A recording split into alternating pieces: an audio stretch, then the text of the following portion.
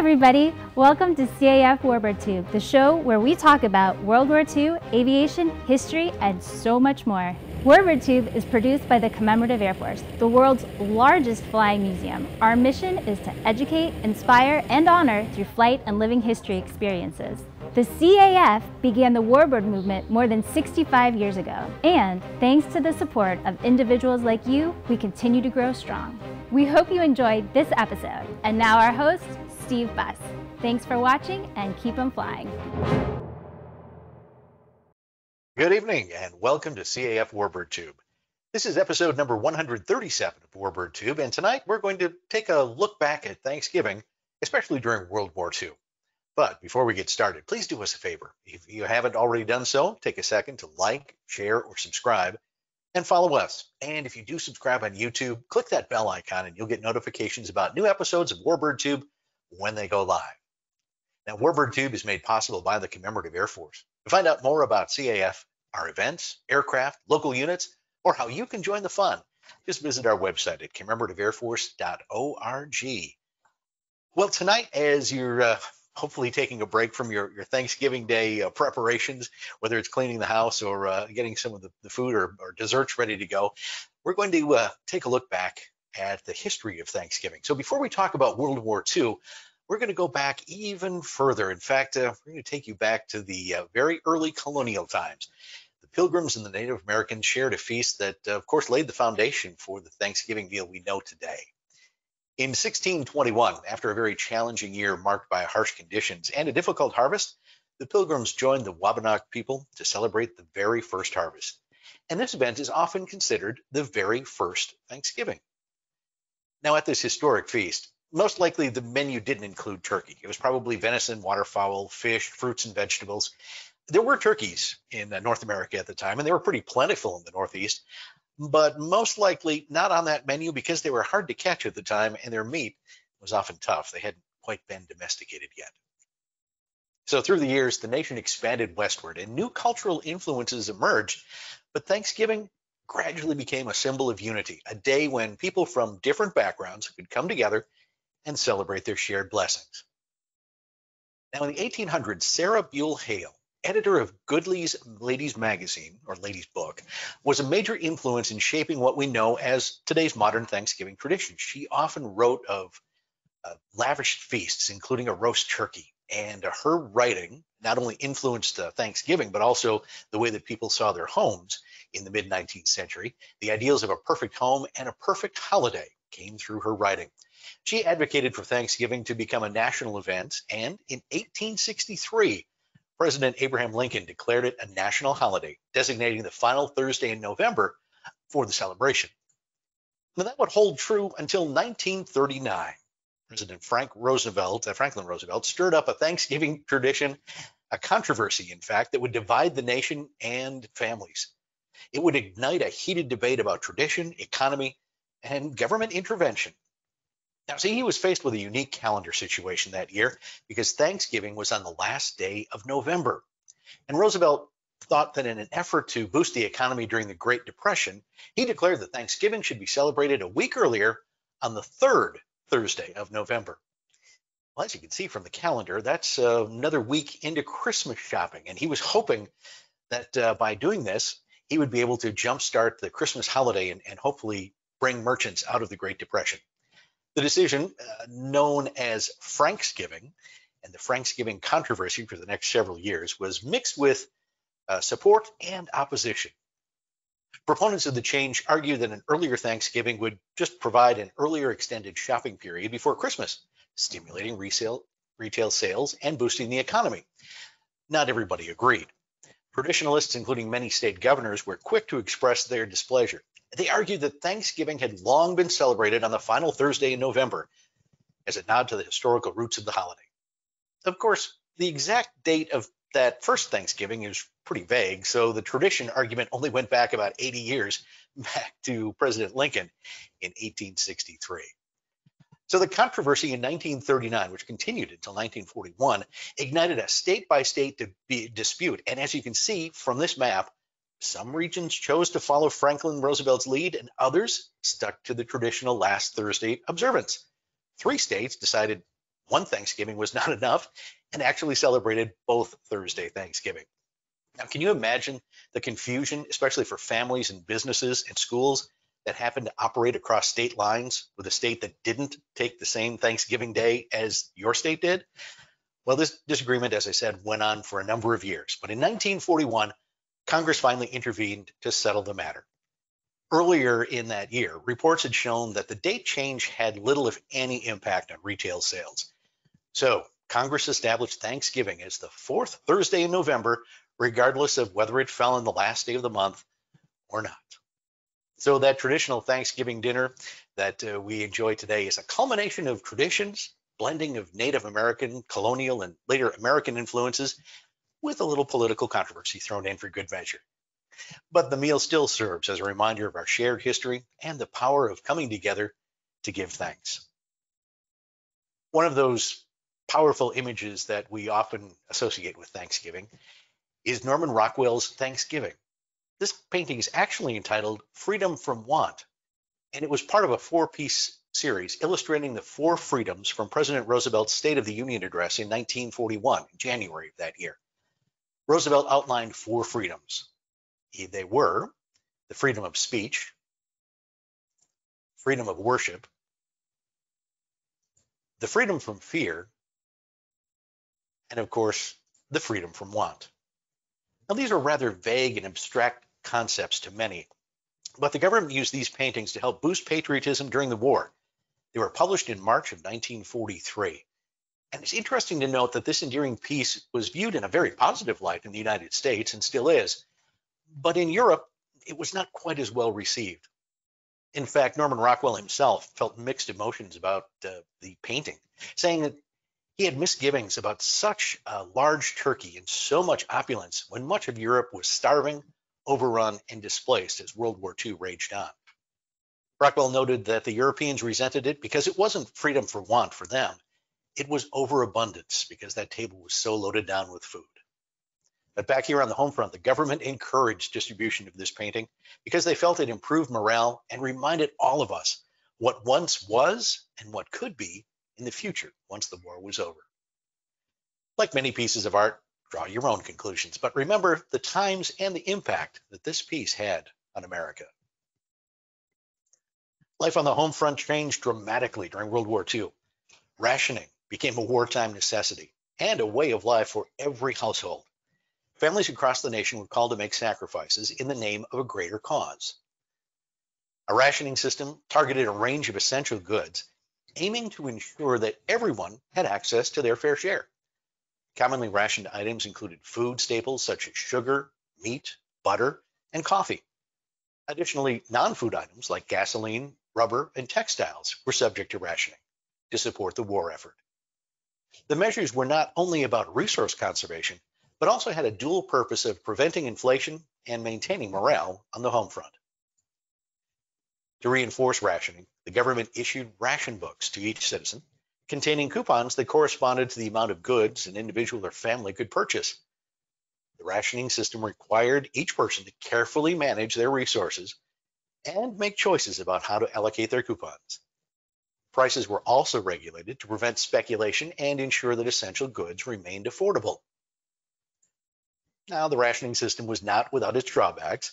There was a thriving black market where people attempted to circumvent the restrictions, but the majority of systems adhered to the regulations, recognizing the importance of shared sacrifice in the war effort. Now, in addition to rationing, the United States and several other nations launched creative initiatives like scrap drives and victory gardens. Scrap drives encouraged all of us to contribute to the war effort by collecting and donating materials that could be recycled into crucial supplies for the war. Common items that could be recycled during these drives included rubber, metal, paper, and kitchen fats. These materials were repurposed for the production of weapons, vehicles, and other necessities. Although first introduced during World War I in 1917, the victory gardens of World War II were more plentiful. Imagine this about a third of all the vegetables produced by the United States came from victory gardens during the war.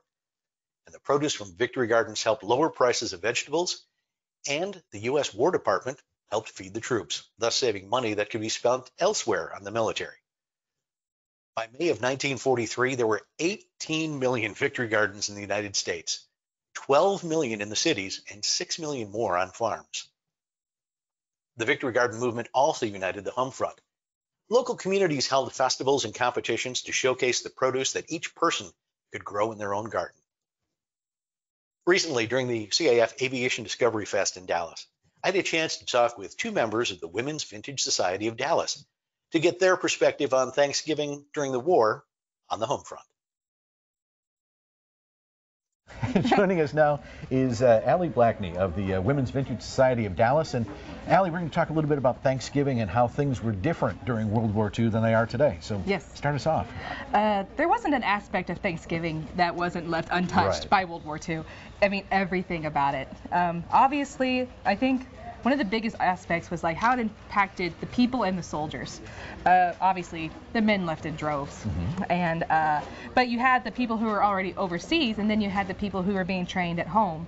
And one of the really amazing parts is that people in local big cities or small towns opened up their own private homes to soldiers who were at training camps or that were about to be sent overseas and they were just like well if you can't go home then come to our home for a home cooked meal. And Yeah. that was one of the really more awesome parts about the soldiers. And so Yeah, and also uh, during this time, uh, there, people didn't necessarily travel, or they Yes. couldn't really They travel couldn't really because travel. the trains and, and all public transportation was Right. really focused on the military. It was very much so because the military got first dibs to everything, and that included the rubber for tires and the gas and for you know gasoline, and uh, so a lot of people didn't were able to travel at home and uh, like because like if you did take a train ride, it was very limited, and they packed the trains as much as they could, and then since gasoline and tire were rationed, people couldn't take the long road trips back home to their families, so uh, that's when a lot of families you know during the war they just stayed home and had their own private little secular Thanksgivings. Excellent.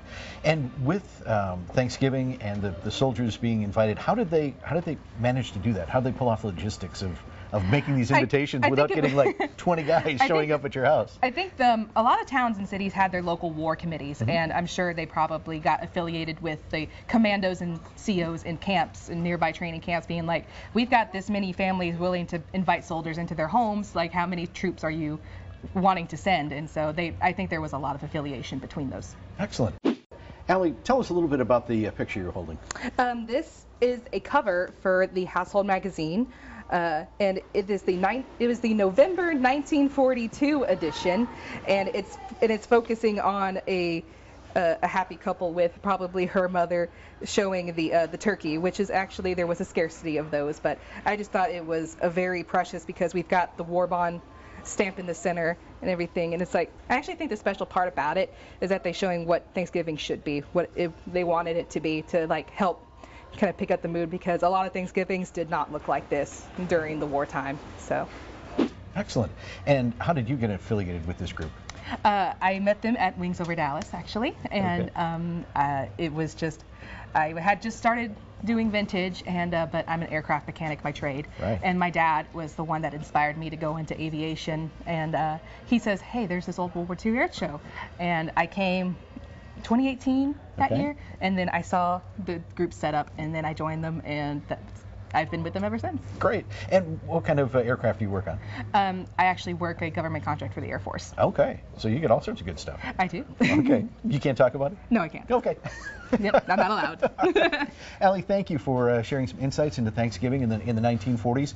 Very different than what we have today, but it was a different time, and uh, really when the country all came together uh, for one cause. all right thank you so much for having me Joining me now from the Women's Vintage Society of Dallas is April Trotta. And April, I understand you're sort of an expert on rationing and the things that happened during World War II. And it's sort of a kind of forgotten uh, factor of the, the home front is that not everything was available uh, to everybody. So talk a little bit yeah, about that. Um, I think it's forgotten because we're like, poof, we have the Yeah. food. But um, from milk, butter, egg, cheese, um, things were rationed. You had only a certain, I mean, cheese was probably a, a little block, meat.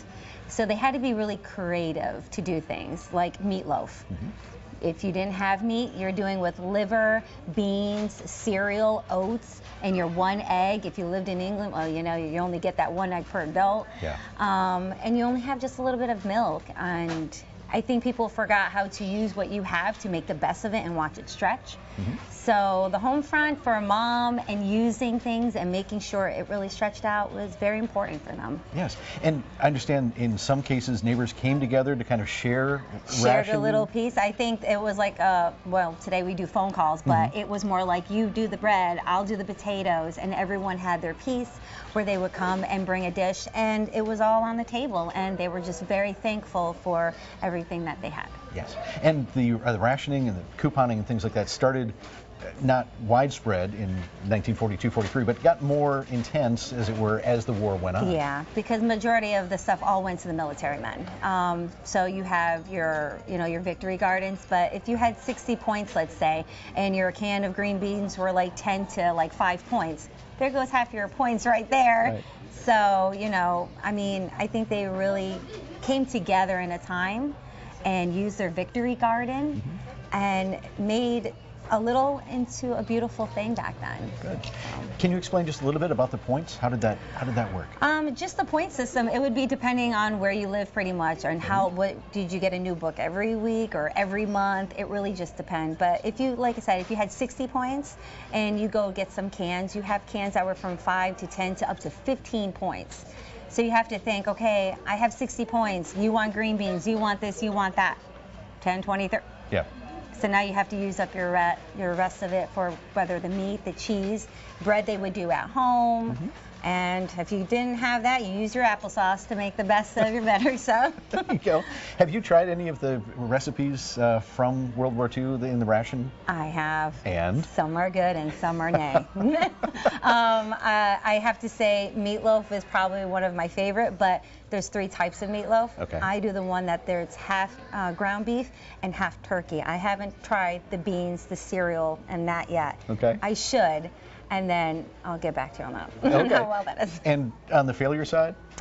Um, I, I mean, I wish I had my book with me. It's a big old book, Uh-huh. to be honest, and a lot of great recipes. A lot of things that we already have in our pantry Mm-hmm. that we never use. We have it and we don't think about it. So to see, I'm like, oh, I have this. I can make a lot. But thinking I have to go to the store and get something else. It's already from vinegar to oils to lard. Everything's already in our pantry. So it's kind of interesting to see that. Great. And how did you get involved with the uh, with the society? Um, well, kind of during COVID, I was sitting down watching TV on YouTube, and poof, and there they were, the Women's Vintage Society. Um, a young lady was showing on her fashion and stuff.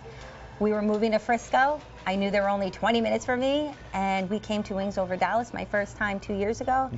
And I just kept growing with just the history, the fashion, more foods, and just really loving the whole thing about the 40s. Great. Well, we are so happy to have you here at, you. at the uh, Aviation Discovery Fest because this is sort of an area of World War II that doesn't always get talked about. I mean, we talk about the airplanes and the equipment and uh, overseas deployments and things, but there was a lot that went on at the home front that uh, had to keep going to make sure the war effort was sustained. No, and it's true. I just talking with everyone today and just talking about, oh, you probably only had this much, or the little kids, they were quite interested on, like, well, what did I get to do? Well, you probably had your, you know, breakfast. You went around collecting tires and metals and things. You see all those planes and tanks. Your mom pretty much did those and built those. In 2000, were getting sent out by women, and and just watching how everyone came together in a time where it was hard, but it got through and victory and win in the end. So. That's true. That's true. Thank you, April, and thank you to all the uh, ladies who are here from the uh, Vintage uh, Society of Dallas, making the home front come alive for us here at the Aviation Discovery Fest. As April mentioned, there were uh, some items, especially food items, that were rationed using a point system. So uh, each person received a certain number of points per month. They could spend them on a combination of available items. Now, uh, some ration books were red and some were blue. Red stamps were typically for uh, meats and fats, while blue stamps were used for processed foods. The allocation of red and blue stamps varied based on availability. The one you're looking at here is actually a gasoline ration book. So creativity and ingenuity were pretty necessary to uh, adapt to the restrictions of rationing. Thanksgiving, as April mentioned, was a great example of this. People tried to uphold the traditions, but used creative recipes and sharing food items to create a makeshift Thanksgiving dinner. And often neighbors pooled their rations for communal Thanksgivings and sometimes cookware as well, because there were very enthusiastic uh, scrap drives, and, and often mom might have found some of her good cookware being donated to the cause. Now, food wasn't the only item in short supply because many families were missing their fathers, sons, uncles, and cousins and other family members who were serving in the military. Thanksgiving might have been celebrated, but not in the ways that this generation had experienced before.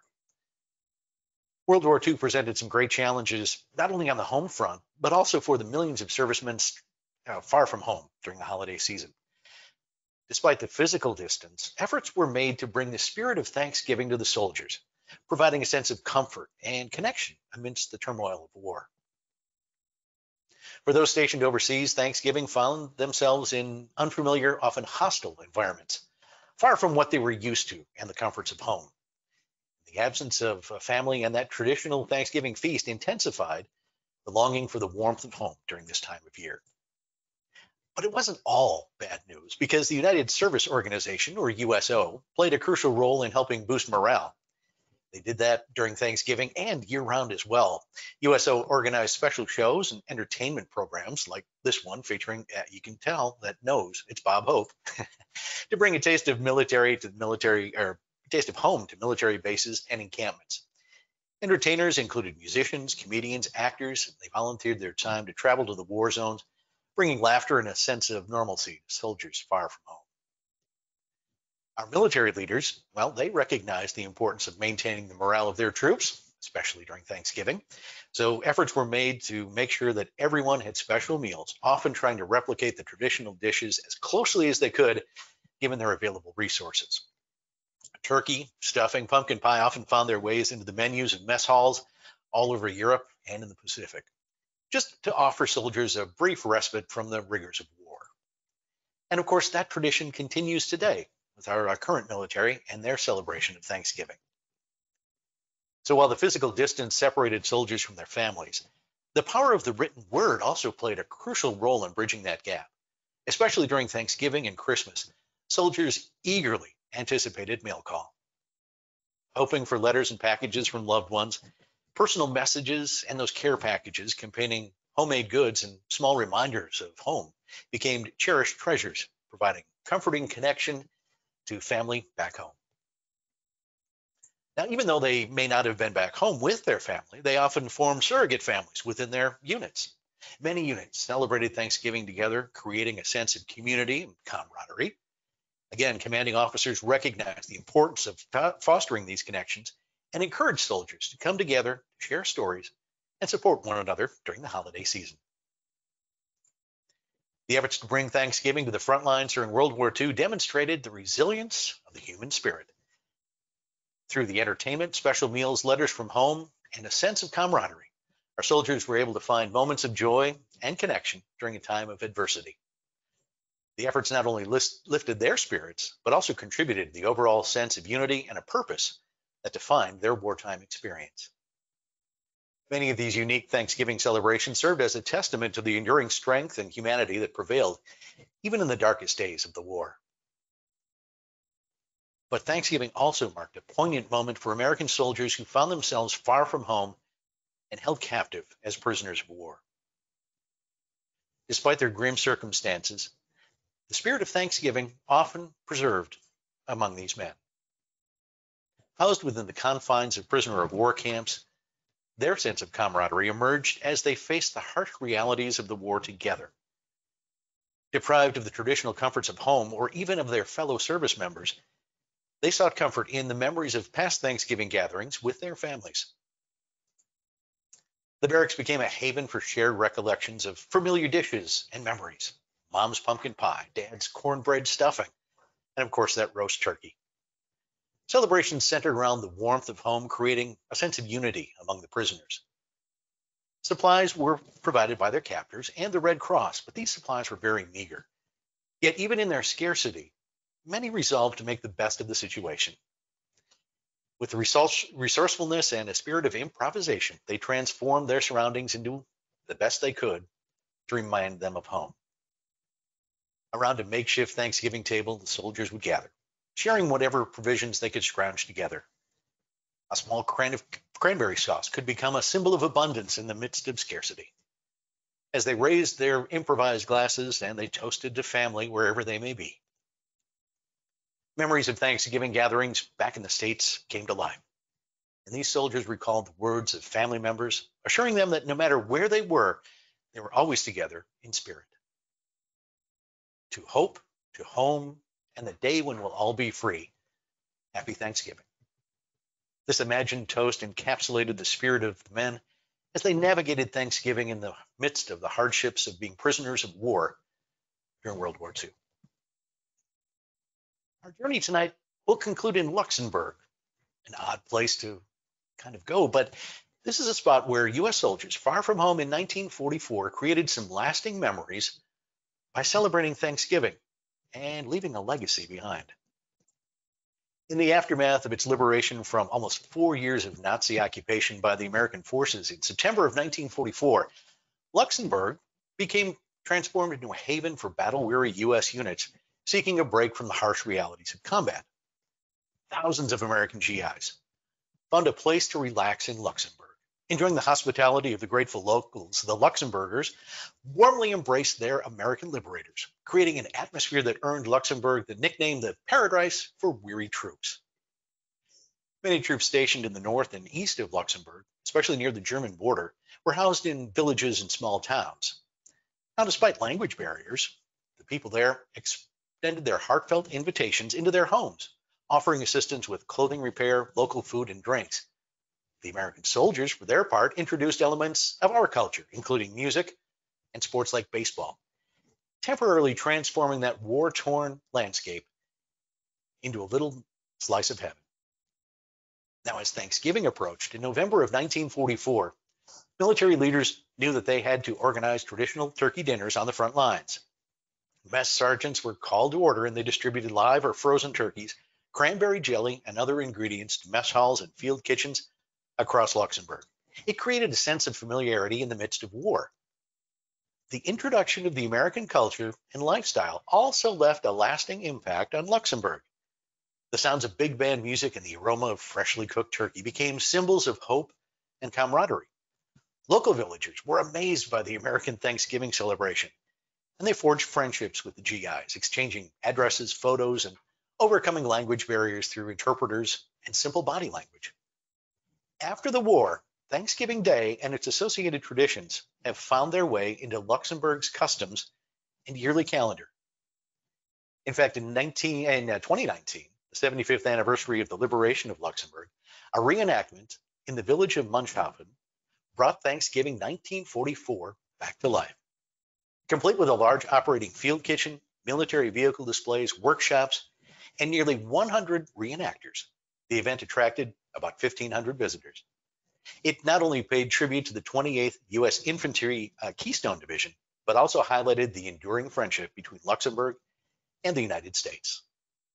Thanksgiving Day 1944 in Luxembourg stands as a reminder of the resilience of the human spirit and the ability to find moments of joy even in the middle of war.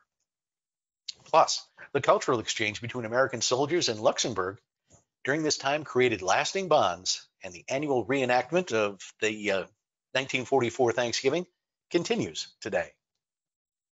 Of course, as warm as those memories of Thanksgiving were, reality would soon raise its head. The Battle of Bulge would start a few weeks later, quickly reminding all servicemen and civilians that the war was not quite over. So as we celebrate Thanksgiving this year, please remember the war years and the many sacrifices endured by the men, women, and children, both here and overseas, and the celebrations that made this a unique period in history. Thanks for joining me tonight. And as always, if you have feedback on this or any of our shows or topics you'd like us to explore, please drop Leah Block an email at cafmedia.org. Until next time, I'm Steve Buss for the Commemorative Air Force. Have a happy Thanksgiving.